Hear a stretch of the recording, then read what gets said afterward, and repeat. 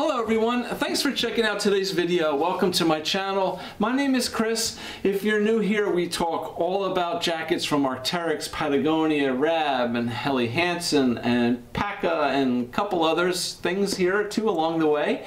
Um, I have a ton of videos here on the channel. Please take some time, look around, dive in. Hopefully you'll find something that can help you out that you're interested in. Um, today's video we're doing something kind of cool kind of a follow-up to the last video I did. The last video basically was some of my thoughts about um, these companies, um, you know, what makes them different, um, what I think about their products, just a personal, um, you know, opinion about, uh, you know, what I've learned over the last, you know, year or so doing all these videos from these products on different companies. Today, um, I want to kind of expand on that and talk more about the specific pieces from each company that I really liked or kind of didn't like so much. All right. Um, now, I want to say straight out front that the products that I didn't like, it's just my own personal opinion. It's not that the products were garbage or junk, you know, or it fell apart. Um, no, it's just my own personal opinion. Um, a lot of times um, they're just not products that I would use. Um, simply because, as I've said in a lot of my videos, I'm actually, I'm not a mountain climber, I'm not a skier, I'm not climbing glaciers. I do do some hiking. I love the outdoors. I own a landscape company. I build koi ponds and waterfalls. I'm outside all the time. I love being outside, okay? Um, but I'm not just, uh, you know, into all these cold winter um, sports up in the mountains. So, um, but I do love these jackets, okay? They are really high quality jackets and, you know, they keep me warm and dry and comfortable, um, you know, with whatever I'm doing. So, you know, my, my little philosophy was, you know, if these jackets are designed to keep you warm and dry and comfortable in extreme conditions up in the mountains, then I'm sure I'll be warm and dry and comfortable when I go out shopping or go to the mall or go, you know, to dinner or go here and there, wherever. So, and they do, and I love them, you know, so I've done this whole channel, I own close to 50 pieces from Arc'teryx. Um, and I love this stuff. Um, honestly too, all these other jackets that I have been purchasing from uh, Helly Hansen, Rab, and Patagonia, um, I am basically purchasing them, doing a video about them, and returning them.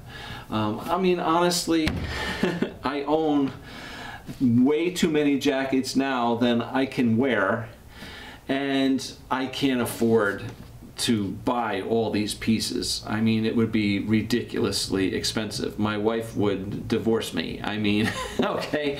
Um, so I'm basically, you know, spending my money buying all these pieces doing my videos and returning them basically so I can keep this channel going and keep supplying you guys with as much information as I can. I mean obviously I do have some knowledge on all these pieces and you know these products that I can share with you so when I get a jacket from a different company you know I can see what it's all about and I want to share that with you. So that's my whole point. Um, okay, so anyway, today's video, um, yeah, I want to tell you, like I said, about some of the jackets that I really liked and some things that I didn't really like from these companies and why. So uh, we'll start off with, with my big one, all right, Arc'teryx.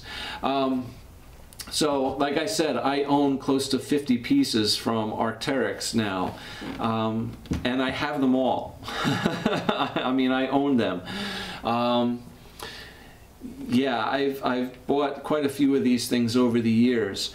And I would have to say that only recently, within the last, you know, um, several months that I've been buying a lot of these pieces and sending them back just to do these videos, that there have been a couple that didn't really hit me so much. Um, and again, it's not because they're bad pieces or garbage, it's just for what I do with them. They're maybe designed for a little more specific things that just I don't have a use for. Um, one was the Rethel uh, fleece. Um, nice piece. And it's a really kind of cool, a different type of fleece. I love Arc'teryx fleeces. So this one was a little different in the fact that it's a heavy, heavier weight piece, kind of similar to like a covert. Um, but it has more of a hard face uh, material on the outside, almost feeling like a denim, like a blue jeans kind of material. Um, but definitely a rougher, tougher, a little more durable material on the outside. Um, I mean, it's nice. It just wasn't what I liked, you know. Um, and also the fit on that was a regular fit, so it was a larger fitting. It was a looser fitting fleece. Um, some of my favorite fleeces from Arc'teryx are the, the Kyanite Lightweight, used to be the Kyanite LT, and uh, definitely I wear that all the time. And the Coverts I love as well. Um, so, you know, they're a little more trimmer fitting pieces. This one was a little bigger, baggier. But again, it depends on your use. I think it's awesome that Arc'teryx made that because it is different than the others. And there's probably a lot of people that want that, but it just wasn't me. Um, so yeah, that was one of the pieces that I got that, you know, I really didn't hesitate sending back. I was like, this is nice, but I don't have a use for it. So um, that one, I would have to say um, two others. The Gamma Hybrid, um, yeah, it just didn't really do much for me. It's a nice piece, well made, great design for its purpose, but for just for every day to wear, eh. Now, I love the Gamma series. The Gamma MX has always been one of my favorite hard, uh, soft shells. And the Gamma SL is one of my favorite. I love that. I wear them all the time. The Gamma LT is a little more, um, a little heavier than the SL. It's, it's more specifically designed for high output activities. Um, you, you need to be sweating in that thing, I think, to, to really reap its benefits. Um, but the, the Gamma Hybrid, you know, I was kind of excited for it because I love all those other Gammas. This, the SL and the MX, I really, really like. They're amongst my favorite Arc'teryx jackets. And then when I got the Hybrid, I was like, yeah, this is nice. I see its point. I see what it's meant to do. It's just not really meant for me. Um, and the same goes with the Cerium Hybrid, okay? Amazing jacket. The design of that for high output activities is amazing, okay? It's a down jacket that has very breathable um, panels throughout it to help breathe. Um, awesome design, great for, you know, climbing in colder weather. I'm sure it would be an amazing jacket. Um, for me, I don't have a use for it. So for around town, I think it kind of looks a little funky, right? It's, it's part down panels and then down part, you know, just little little weird. Um, awesome coat, just wasn't for me. Um, jackets that I love from Arc'teryx, you know, like I said, those couple fleeces I, I really, really like. Um, the Rush IS is a little older uh, Rush hard shell that has an Octaloft fleece lining inside of it. Super nice, super comfortable, warm, hard shell, waterproof, windproof. I love that coat. Um, that one I really like. I mean, the Sawyer hoodie has become one of my favorite jackets. Um, just feels great, looks good. I, I just awesome uh, soft shell. Um, and of course, the protons, the nuclei FL I love. Um, and the Atom, right? The Atom LT, the Atom SL, the Atom AR. They're great pieces. In the winter, when it's cold, my Thorium and my old Cerium SV is an amazingly warm jacket. So, yeah. all right? But in general, Arc'teryx stuff, you, you can't go wrong. Um, all right, let's go. Let's go to Helly Hansen. All right, um, the pieces that I've tried from Helly Hansen that I have really been impressed with and really liked, I'd have to say, originally I got um, one of the first pieces I ever tried from them was the Cascade Shield Fleece, and as soon as I got that and put it on, I immediately really liked it. It fit great. It was soft.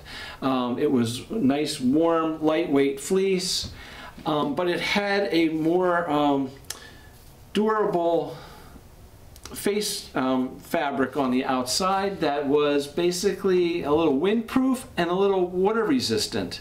So I thought it was really cool to have that fleece, soft fleece that has some windproof and waterproof qualities to it. So I really liked that, but I did end up sending it back.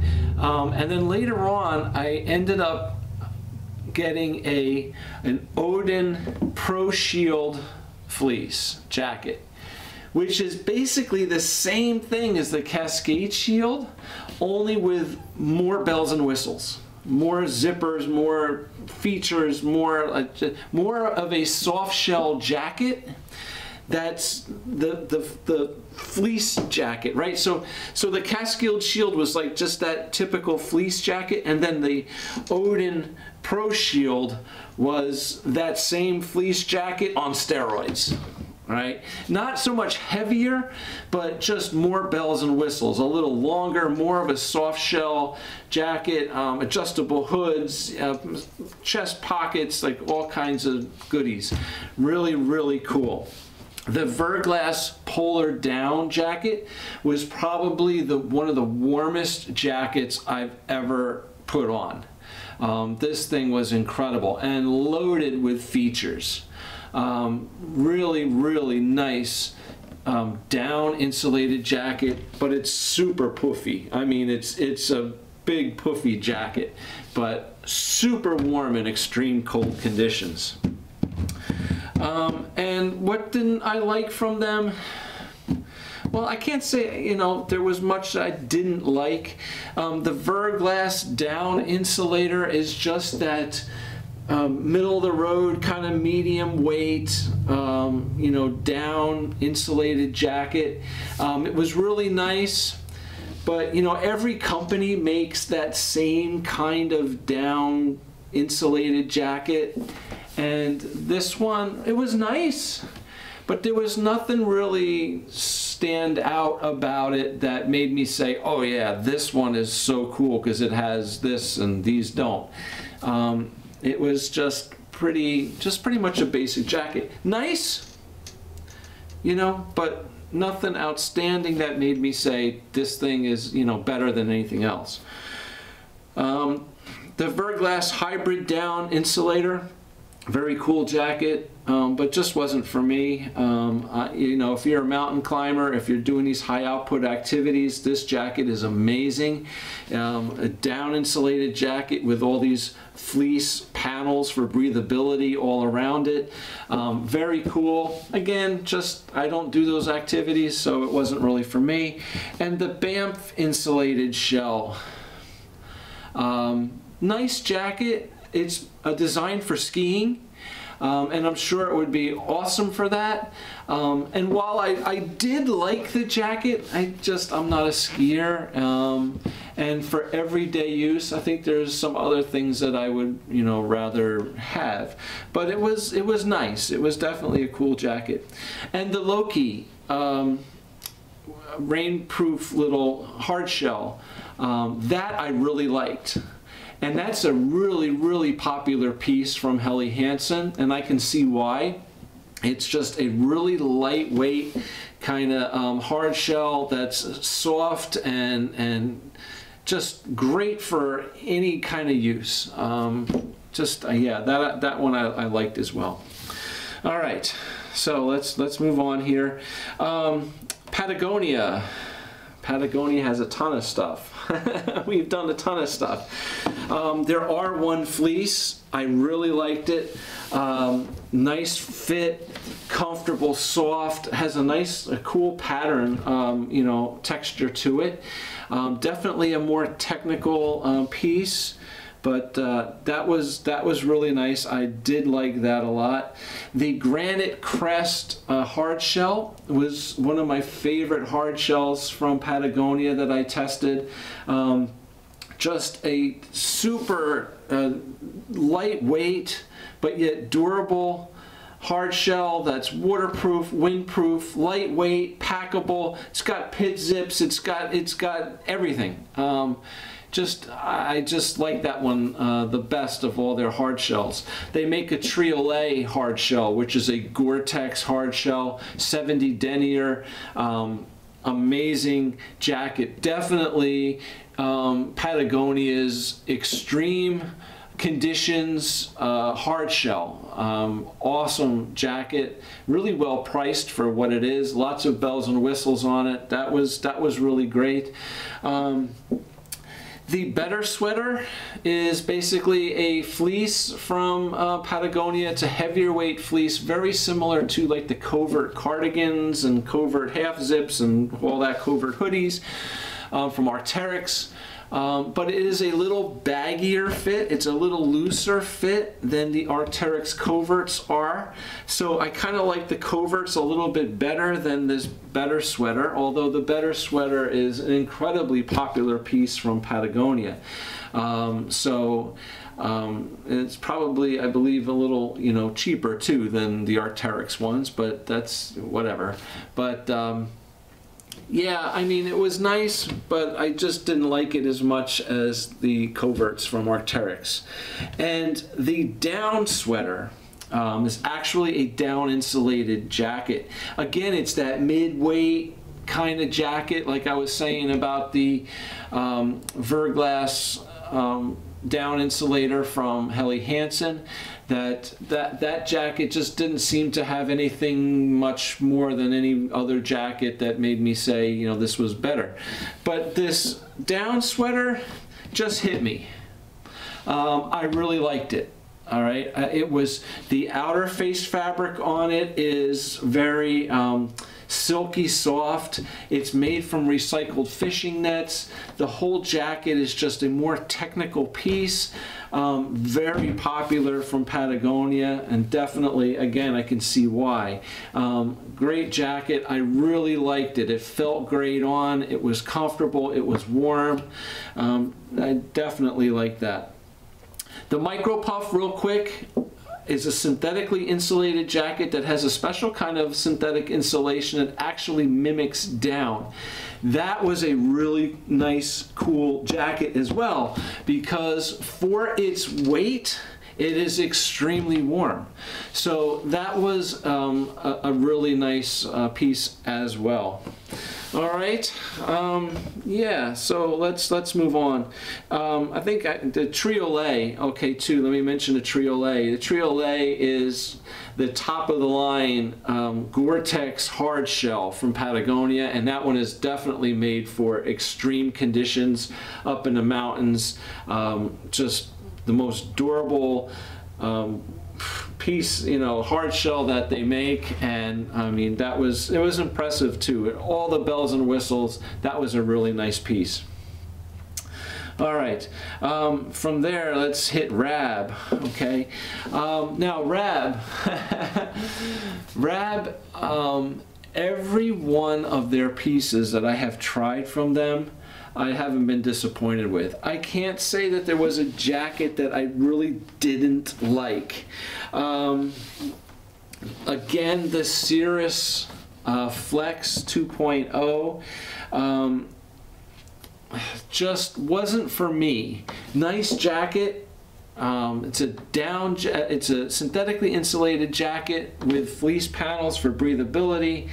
Um, it was really cool. It just, again, I don't have much of a use for that. I'd rather just have a jacket without all the fleece panels that's just warm, right? Because what I'm doing, I'm not sweating in, okay?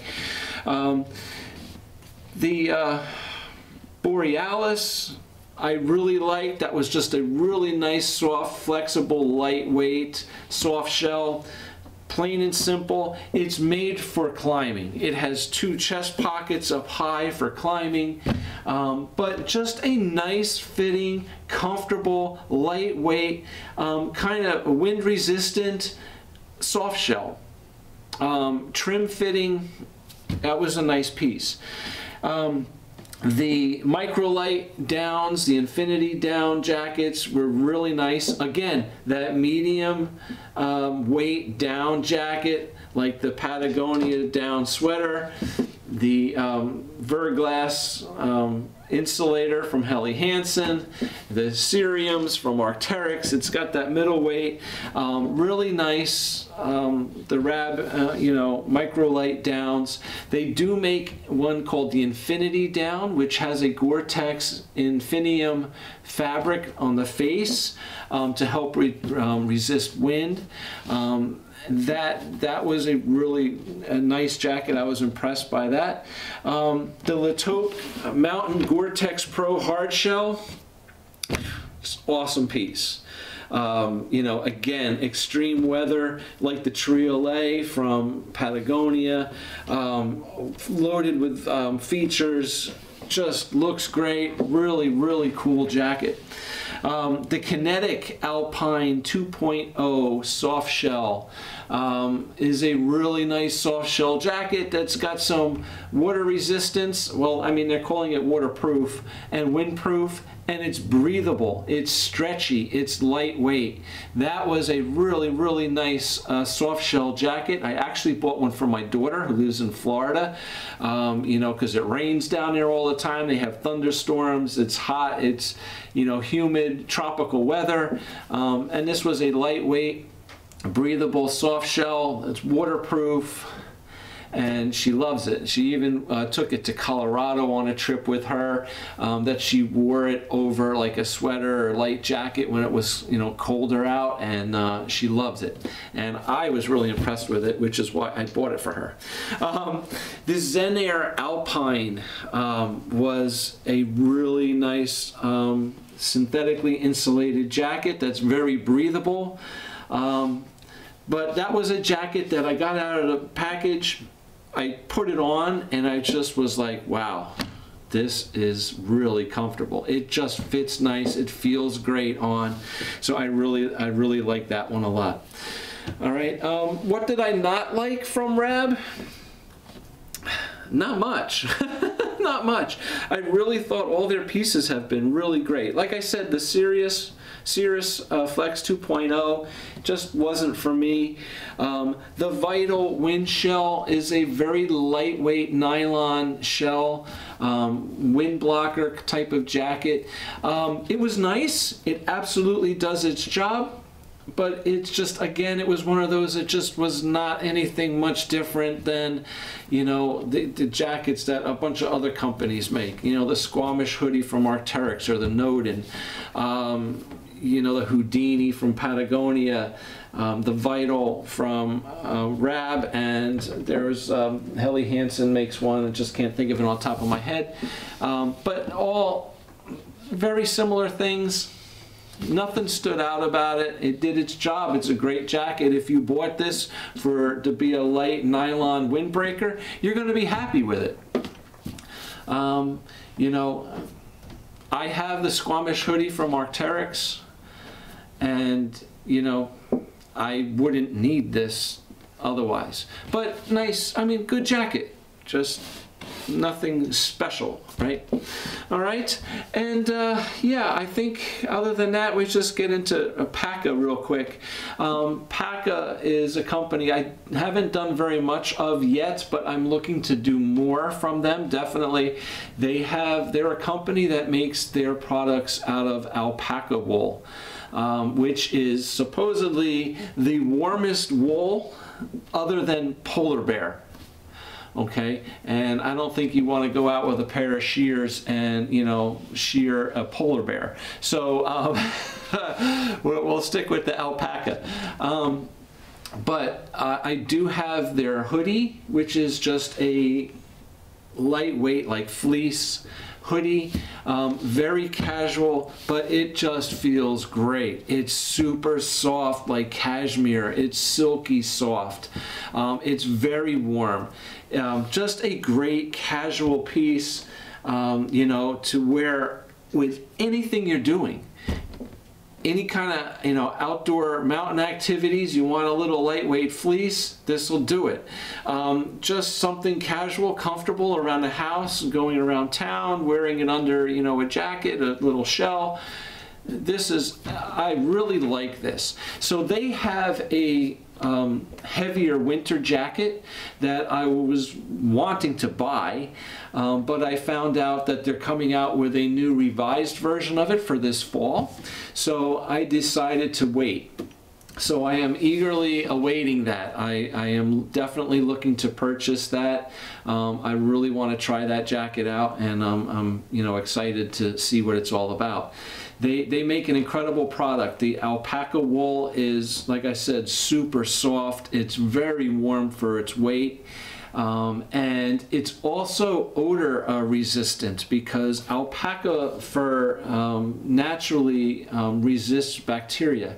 And what's cool about the alpaca wool if you think about where the alpacas live, like in the mountains, in the Andes Mountains in Peru, um, where these jackets originated from, um, they live in extreme conditions in these mountains where it can be hot during the day and then at night be extremely cold.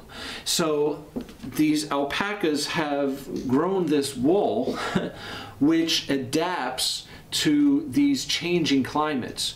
So if you think about the extremes that these alpacas live in, in you know hot during the day, cold at night, um, you can see the value of this wool in your jackets. Okay, it helps to you know keep you extremely warm when it's really cold, but then when it's warmer out, you don't feel as hot in it. So it's actually pretty, pretty interesting and I'm really anxious to try this stuff out a lot more. All right, so that's going to wrap it up. Um, I, I, hope you enjoyed the video. Please hit the like button, subscribe to the channel, and remember, for every one of these pieces that I've talked about here today, and a lot more, I have videos on each individual piece here on this channel, um, you know, breaking it down, explaining what it's all about, the different features, the way it fits and how it layers with things. You know, we talk all about that stuff. And uh, yeah, so hopefully, um, you know, this enjoyed the video, gave you some little insights into things, and uh, please, you know, subscribe to the channel, take a look around, and hopefully we'll see you back again in another video. Just take care. Have a great day. Bye.